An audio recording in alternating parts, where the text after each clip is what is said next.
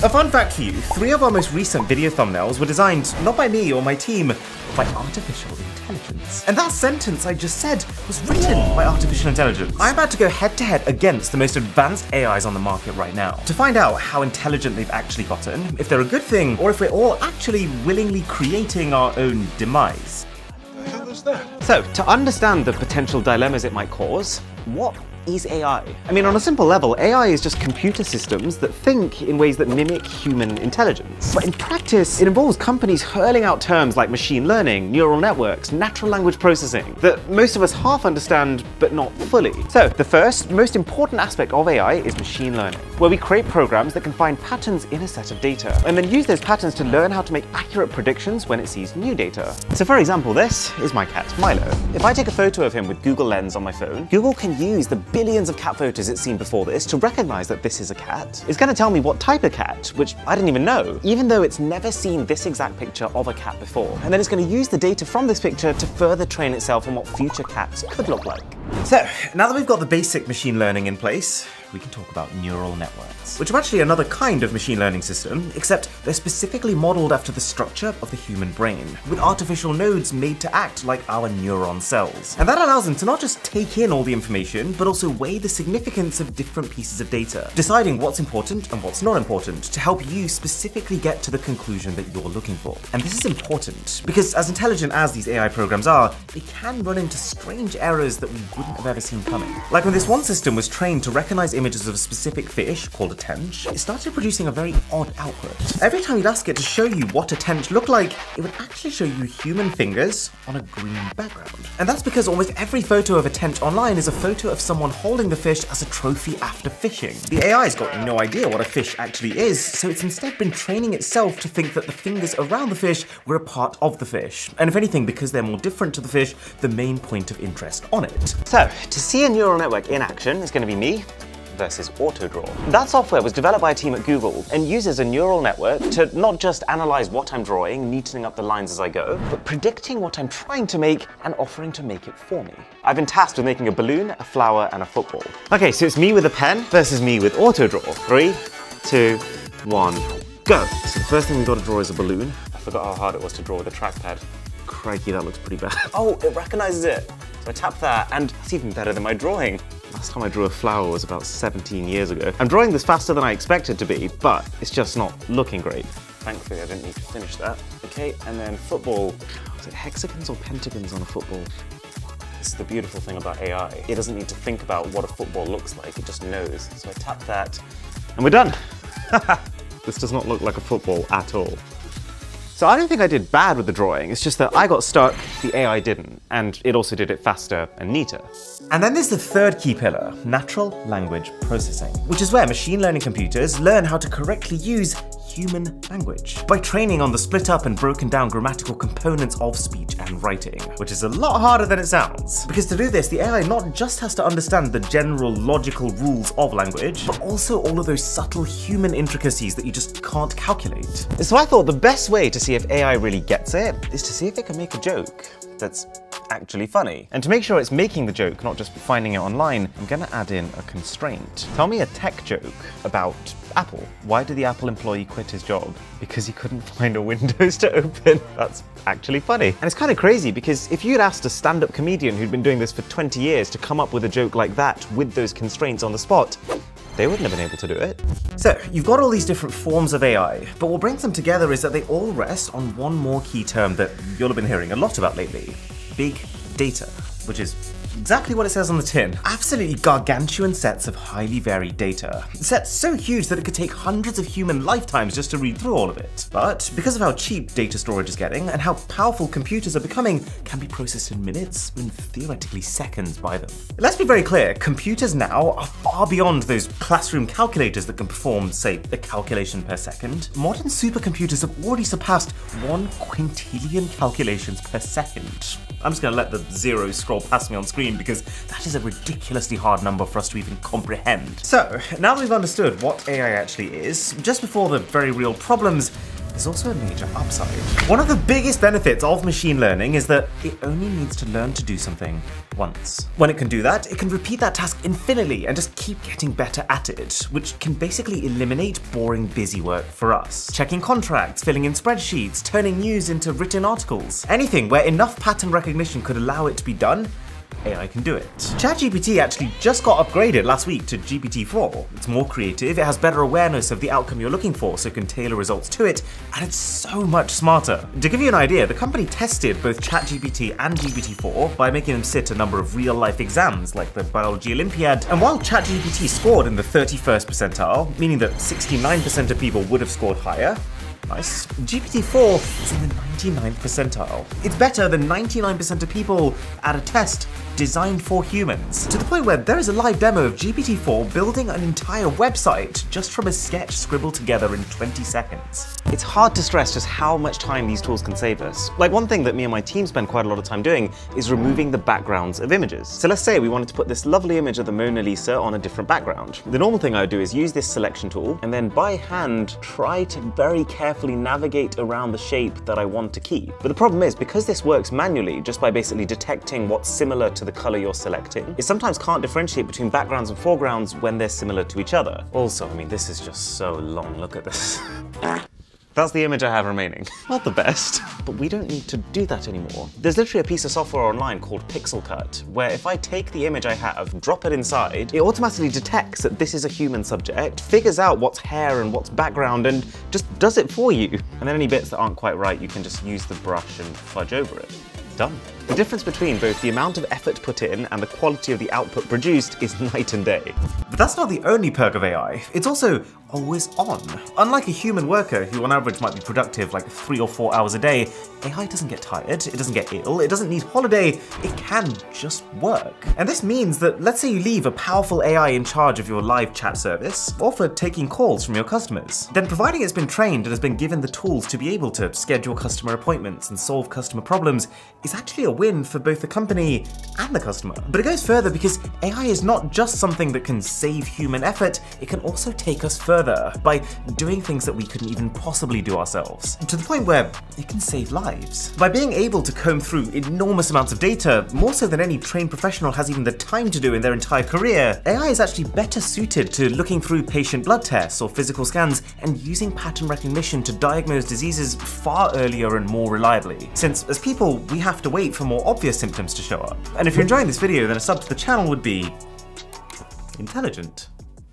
AI can tailor your technology to work around you. Like almost every modern phone actually uses AI to understand your usage habits and to get apps ready to launch before you even click on them, or hibernate other apps that you don't use very often. Or search engines like Bing are now using AI to act like a kind of web search co-pilot who can answer your questions in a more natural human conversational tone. Or what Google started experimenting with with Google Assistant, allowing it to call up places on your behalf to make bookings for you. Okay, so let's just say you have a very specific problem. If you just type that into normal Google search, then largely what it's going to try and do is just to give you something that matches as many of the keywords that you've typed, which in this case is just a load of recipes, not what I need right now. But if I instead use GPT-4, it's going to tackle the problem from the perspective of it needing a solution. If your asparagus has been burnt, it may have a bitter taste and a charred texture. And then it's essentially giving me a five-step guide on how to recover my asparagus. And it rounds off by actually saying, with these steps, you may be able to salvage your burnt asparagus and turn it into a tasty dish. This is literally like having a world-renowned asparagus expert sitting in the room with me. And probably the most prominent perk that we've experienced so far, AI can also be a tool for creation. With tools like DALL-E and ChatGPT and Soundraw, allowing basically anyone with an internet connection to generate completely new images, stories, and even music from scratch. So, it's me versus an AI called Soundful. What is up with this chair? I think I remember how to do this.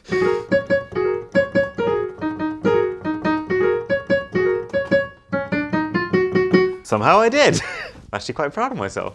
All right, time to see what you can do. So you search for contemporary piano up top, and we hit that generate button. It's actually kind of sad how easy it is just to generate music now. Oh my God. Oh, it's just embarrassing, isn't it? How does AI understand the, the nuances of music? It feels like such a personal thing, like someone's put love and care into this track, but it's just a machine.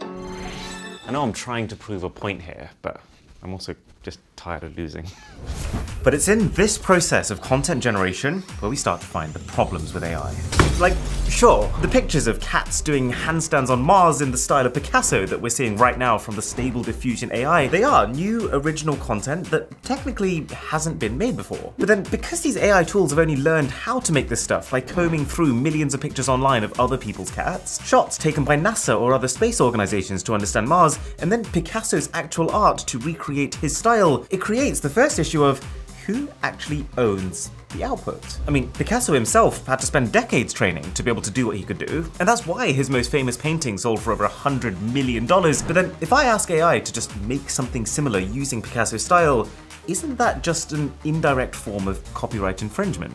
Artists aren't exactly giving permission to AI companies to be able to train their AI using their work. Shouldn't they have a choice? Or like receive some sort of commission? But then that doesn't work either, because if you paid commission, how would you decide who gets how much? Because every single search request is going to use a different amount of data from each party who's contributed to it. But it's not just art that AI can make, it's also people. And this is scarier. I found this machine learning guru called Santiago on Twitter, and he's basically saying that in just four to five years' time, every image you see on social media will be created by AI. And to prove his point, Overnight created an Obama generator that can create real life looking photos of Barack Obama in any situation he wants to be in. Pretty cool if you could only do that for yourself. You could create photos of you dressed up in fancy clothes without even needing to do any of the dressing up. Ooh. But if you're not Barack Obama in this situation, isn't it also just a little bit alarming that people have access to you like that? And it's not just image creators like DALL-E posing a massive threat of plagiarism and scams. ChatGPT has become the way for students to have full essays written for them, with over half of them in a recent survey admitting to doing this exact thing. And yeah, sure, you could say, well, this is just like when calculators first got introduced into maths. We just need to design a set of assessments that factor in that students can now use AI. But what would that look like? AI programs are becoming more intelligent every single day, far faster than schools are realistically going to be able to keep changing the curriculum to accommodate. The difference is this, being able to use a calculator in an exam, it still requires the student to use a level of reasoning skills, analysis to decide what calculation needs to be done. But AI, because it's modeled off human thinking, can, or at least will soon be able to, offload all thinking entirely. And so there is the very serious question of, going forward 20 years, where do we actually fit into the picture? We won't be better at anything. Okay, so to give you an example, I've been reviewing tech for half my life now. And if you just asked me to, off the top of my head, whittle off a review for the iPhone 14, I could probably do it. But as soon as you add even one constraint to that, such that I have to think about how I'm gonna say it, I think I would break down. Okay, let's try it. Uh, give me a rule. Use words starting with letters A through to I. Oh God, okay. And make it suitable for a five-year-old. The I can't even use the. Apple's iPhone 14 is fun because it has a large. I can't use large. This is a mess. Oh goodness. If this can do that, I am gonna be absolutely floored. Oh. it says Apple's iPhone 14 is amazing. A big bright display dazzles eyes, buttons feel great, colourful cases are delightful, entertaining for all. Cameras capture fantastic fun, giving good, happy images. Enjoy. I mean, that is insane. Now, when people talk about the risks of AI, you'll often hear about the singularity, the point at which the AI systems we built become so advanced that they're able to think and act for themselves, inevitably deciding to disobey humans and take over the world. But the bigger problem we're facing right now is not the possibility of AI refusing to do what we want, but instead doing exactly what we're programming it to. That's what's happening with the new Bing, Microsoft's ChatGPT powered version of their search engine, which acts like an AI co-pilot to help you find the answers to your questions. And personally, I really like the idea of asking a super intelligent robot the answers to my questions. A completely unbiased source like that is the best thing you need when you're researching. But the problem is, it's not unbiased. We'd like to imagine that by giving these AI systems the power to independently learn and improve themselves, that they'll just happen to become these completely impartial, truth-telling machines. I think that normal, non-AI computer programs have lured us into this false sense of security, because they work in a very simple, methodical, binary manner that we can keep track of. But in order to make AI behave more human, they have to be trained using human influences, and it's impossible to completely keep their biases out of the final product. Like you might remember that in 2017, Amazon had to completely scrap their new AI recruitment tool, which automatically scanned through resumes and suggested which candidates to hire, because it turned out to be extremely sexist. The tool was basically looking at the company's own hiring data, seeing that they'd hired a lot more men than women in general, and realized, technically correctly, that male candidates had a better chance of being hired at their company. So it stopped recommending applications from women, especially if they'd mentioned specifically attending a women's college. There's no one person to blame here. The AI doesn't know what's right and wrong. It's just that it's almost impossible to program a machine learning system without biases like this. And the danger is, by putting our trust in a neural network that very few people really understand the inner workings of, we won't actually know what their biases are until problems have been caused as a result of them. The other thing people have started to notice when using this new Bing chatbot is almost like a, an alternate personality. It sounds very weird to say, but almost like the machine is going through puberty. Like for instance, Bing has a tendency to just straight up argue with you. At this early stage, it's really common for it to make mistakes, get things wrong, and even bizarrely just to make things up and stand by them. Usually if you double down and point it out, it will back down with a meek little apology that weirdly makes me feel bad for criticizing it, but people have found that if they push it too hard, Bing just blows up. And this is what we get for training a machine using people's internet behavior as the influence. People are not their best selves on the internet. And if an AI with this potentially destructive personality had a more important job than just advising people on their internet searches, you can see why this is a problem, right? There's a hundred other concerning things we could talk about here. But the point is, continuing down the path of advancing AI tech might just be about to make things worse. Not because they're going to disobey us, but because they're going to do exactly what we're telling them to. Okay, so let's just stop the whole AI thing.